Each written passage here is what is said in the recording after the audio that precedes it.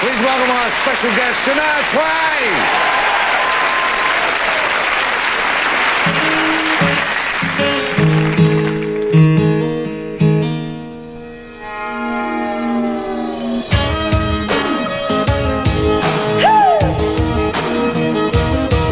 Yeah.